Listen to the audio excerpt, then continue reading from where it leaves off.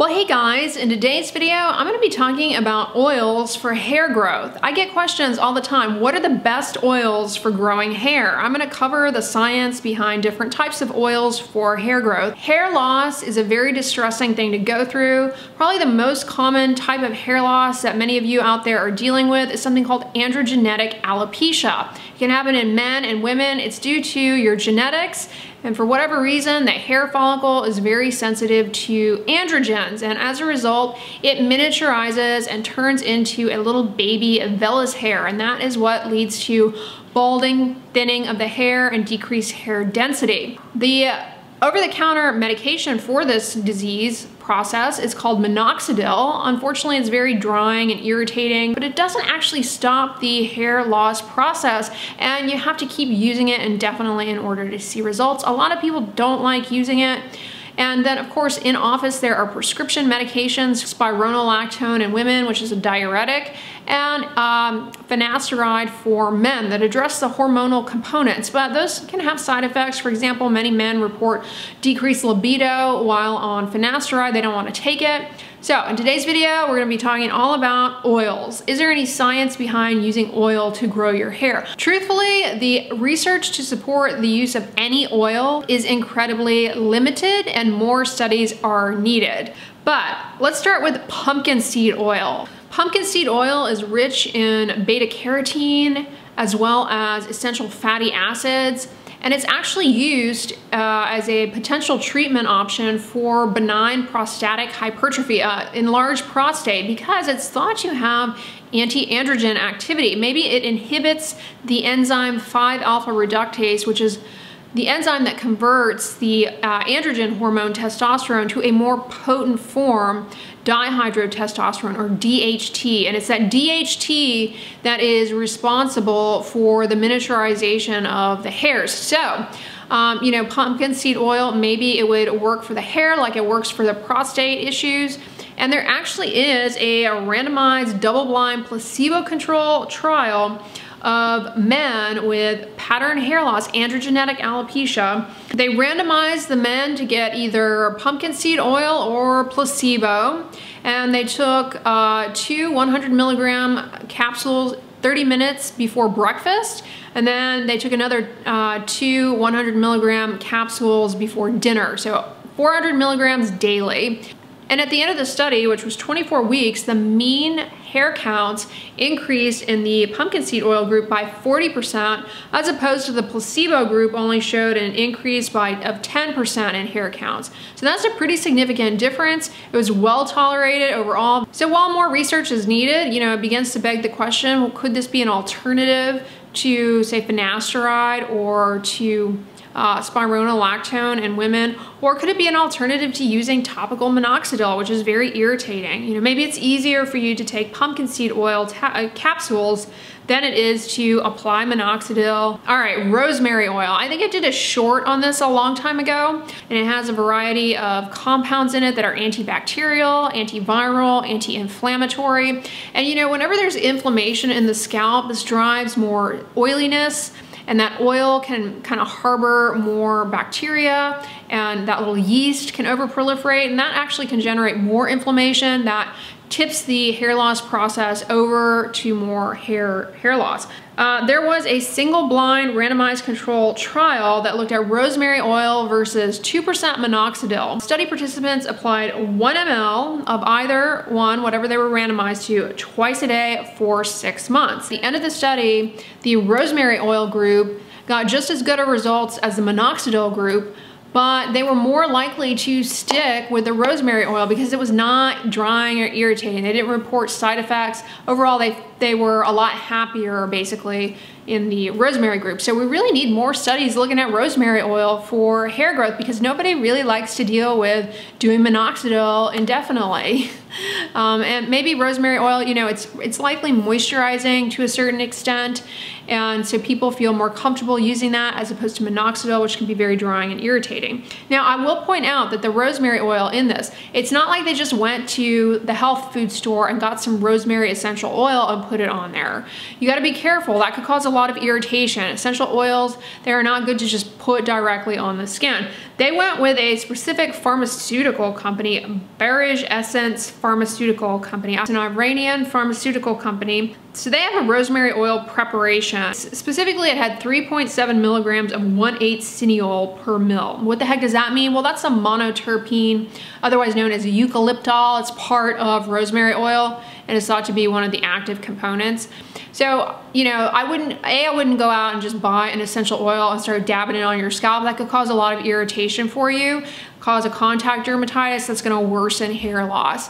Um, and B, be very careful, you know, anytime somebody hears a slight promise of something like a natural ingredient, well, then they're gonna, you know, snake oil you. And you don't know if what you're getting is a good quality product. Does it actually have the active component in it? So all I can say is that this Iranian pharmaceutical company, it looks like they do have a rosemary oil topical to use for hair and eyebrows. Um, so I would, you know, if you're motivated, that would kind of be the uh, research-backed version. Uh, but yeah, I caution against just going out and getting essential oils. What about tea tree oil for hair growth? It's got antibacterial properties, antifungal properties, antiviral properties. I mean, there's actually some promising research on tea tree oil for like acne, different fungal conditions, but unfortunately tea tree oil can be very irritating. It's not a pure substance, it can degrade. But what about for hair loss as I blab on? Now, there was a study where they took a micro emulsion of tea tree oil plus minoxidil plus diclofenac, which is an anti-inflammatory. They looked at that versus minoxidil alone versus vehicle control. And they showed that the tea tree oil, diclofenac, minoxidil, mambo combo was a lot more effective than just minoxidil at improving hair growth, hair density.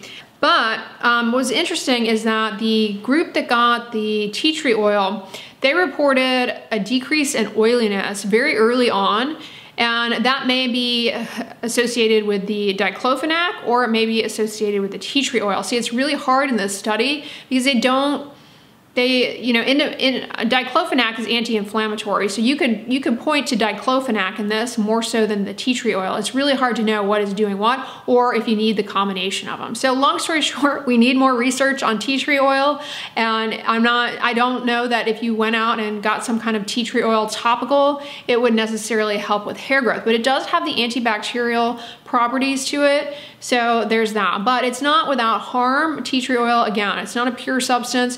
Uh, as it's exposed to light and air, it oxidizes and degrades into compounds that are, can be very irritating to the skin. And it's not something you can, tea tree oil is not a reproducible substance either. It's gonna vary in terms of its relative constituents from preparation to preparation. So that is another challenge whenever we're talking about essential oils, whether it be in skincare or you know hair care. Now, what about olive oil? This is really popular, a natural remedy that a lot of people like to use. Olive oil, J-Lo uses it on her skin, if I recall correctly. I'm not sure if she uses it on her scalp as well. But what about olive oil? Will it grow your hair? Truthfully, there are no uh, trials on olive oil for androgenetic alopecia. There is one case report, however, where the um, patient was using olive oil in addition to uh, typical psoriasis treatment, and they got an improvement in their psoriasis hair loss. So psoriasis is a chronic inflammatory skin condition and it can be you know, very involved in the scalp and that can result in hair loss actually. The inflammation can get so bad. So this patient was doing olive oil um, before shampooing with a medicated shampoo. And they were also using an anti-inflammatory lotion, dexamethasone, twice a day. And the olive oil, they, using the olive oil pre-shampoo, they um, were able to decrease the scaliness and with time their hair shedding stabilized and leveled off. So that's a great case report showing, you know, that this helped this person, but how it helped is hard to say. Did it help because they were, you know, getting some relief from the dryness that is uh, coal tar shampoo, which can be irritating? Uh, is it because there are anti-inflammatory compounds in olive oil that were helping the psoriasis? Does it have anything to do with actual hair growth? There are a lot of unanswered questions here. All right, moving on, we have another study looking at a mixed bag of aromatherapy oils, thyme, rosemary, lavender, and cedarwood. Now, these are essential oils, but they uh, use them in a carrier oil of jojoba and grapeseed.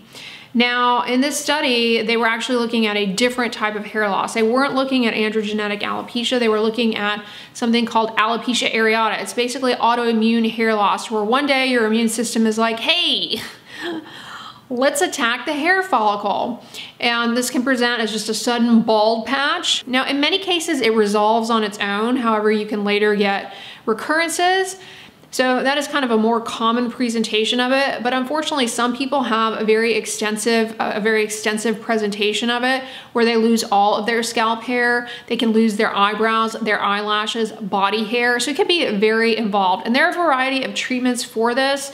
Um, newer treatments have come out, something called JAK inhibitors. I mean, we're, we're getting more sophisticated treatments for this, but of course they come with side effects and whatnot, and people want to try something natural. So this study was done, and at the end of the study, while the group that got the essential oils and carrier oil showed slightly better hair regrowth than the group getting just the carrier oils, across the board, nobody really got that much better. The majority of the patients in the study in both the in both the carrier oil group and the aromatic aromatherapy oil group, neither of them really showed much in the way of regrowth. And given what I told you about the natural history of alopecia areata, it often spontaneously resolves and you get regrowth you know, whether or not it was due to the thyme and lavender, who knows. Then there was another one, again, looking at alopecia areata with this time thyme, rosemary, lavender, cedarwood, and they threw in uh, evening primrose oil uh, in conjunction with the carrier oil, again, jojoba and grapeseed oil. This one went on for 12 weeks, and this one they actually did get a clinically significant improvement in hair regrowth in the essential oil group in comparison to the carrier only control group. Uh, again, more research is needed though. Is it certain oil? Hard to say for sure. The information that I'm getting here, I'm going to put my references down below in the description box, but this comes from a, a recent review on looking at oils for hair loss and hair, you know, hair growth.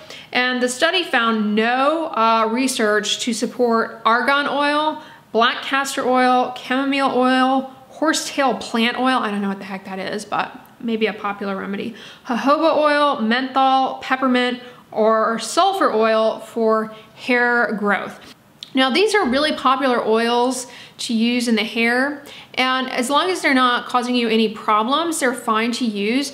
Many of them are incredibly moisturizing. You know, black castor oil is a really popular one. I've got videos on it. It, it doesn't actually grow the hair. It's very viscous and it can just improve the appearance of the hair by making it appear thicker. We don't have any research to show that it actually changes the hair cycle or actually causes true hair growth. But it is very moisturizing and is a popular eh, you know, ingredient to incorporate in hair care products that help reduce breakage. Now, another oil that hasn't been shown to grow hair, but is helpful in the hair, I've got videos on it, is coconut oil. Coconut oil, because of the, the way, the size of coconut oil, it actually can enter into the hair shaft and reduce protein loss that occurs with cleansing. So if you have uh, chemically processed hair or very brittle, damaged hair, coconut oil applied to the hair pre-shampoo may help cut down on brittleness, breakage, hygral fatigue, basically the entry and exit of water that ends up leading to swelling and increased fragility. There is evidence to support that applying coconut oil to the hair can help with those things. It lubricates the hair. So that's where we're at as far as oils for hair growth. We really don't have compelling evidence that any one particular oil can help with hair growth or any type of hair loss disorder, but we do have some preliminary clinical trials with pumpkin seed oil taken by mouth and rosemary oil applied topically that suggests they may potentially in the future be alternatives to minoxidil or oral um, medications like finasteride, spironolactone, or adjunct treatments. You know, most things in hair loss, it's not like a one and done treatment. We usually use multiple modalities, low level laser therapy um, as well as minoxidil, maybe PRP. Um, you know, there are a variety of hair loss treatments. and we often come at hair loss with multiple tools. So I hope this video was helpful to you guys and let me know in the comments, have you tried any of these oils for your hair? What was your experience? Let me know, but if you liked it, give it a thumbs up, share with your friends, and as always, don't forget, sunscreen and subscribe. I'll talk to you guys tomorrow. Bye.